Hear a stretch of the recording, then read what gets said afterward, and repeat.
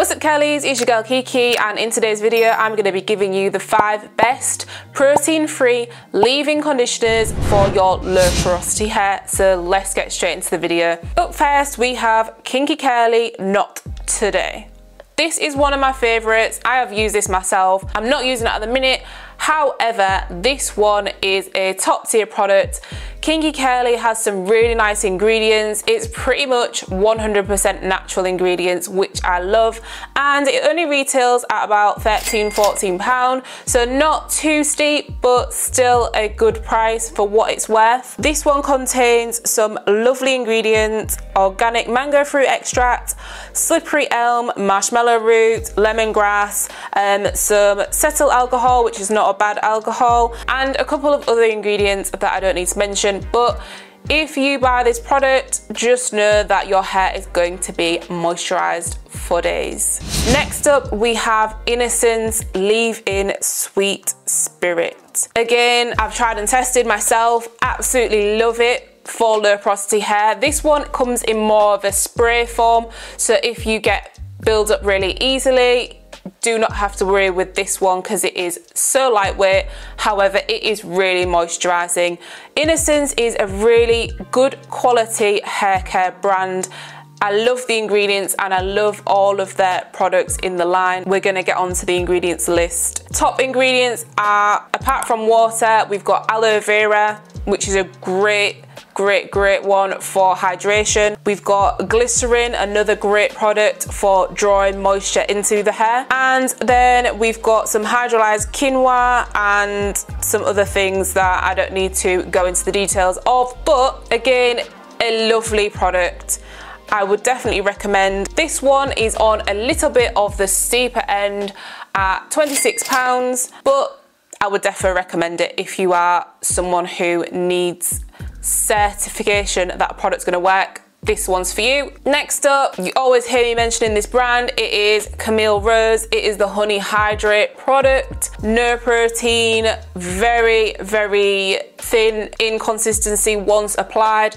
Initially, it's a little bit weird to get over the um, the texture of it because it is literally like putting honey on your hair but it is nice it goes on the hair it goes absorbs easily and it leaves your hair feeling moisturized and shiny very lightweight after you've applied it. Some of the ingredients are honey, of course, olive oil, castor oil, aloe leaf, sugarcane, sweet orange fruit, lemon fruit extract. It's pretty much, again, very natural product. If you're sensitive to anything, you're probably not gonna be sensitive to this because it's hardly got any chemicals in it. This retails at about 15, 16 pounds, so not a bad price point. But I do think this one is worth the money. If you haven't tried it, give it a go, see if you like it. I actually really like this product for my medium porosity hair as well. We're gonna stick with the same brand for number four. This is Camille Rose moisture milk. If you're someone who would prefer more of like a creamy texture, because the products that I mentioned previous to this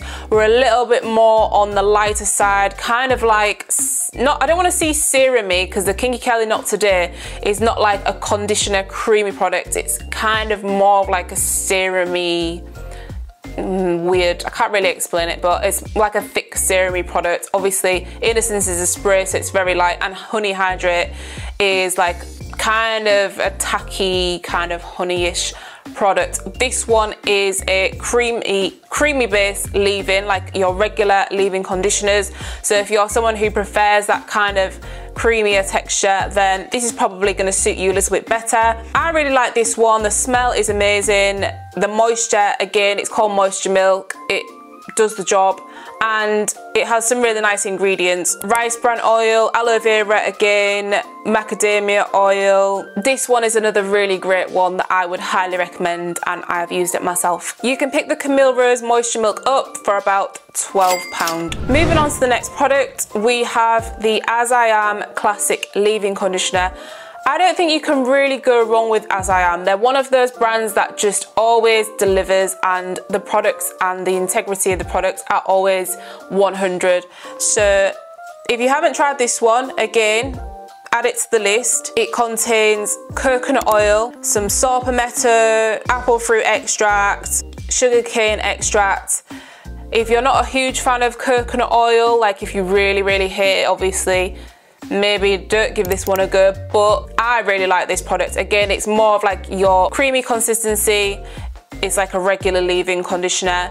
It does do the job. It will provide you with moisture and you can pick this one up for about eight pounds depending on where you go for it. But this is a really good price point for the product. I really like this product also. It was a staple in my routine for quite a while when I was doing more wash and goes and things like that. So I would highly recommend this one as well. That was my five best protein-free leave-in conditioners. Drop some more in the comments if there's any I missed that you would really recommend for others to try and I will see you in the next one. Let's get this on. Mic is on. Mic is on. What is going on?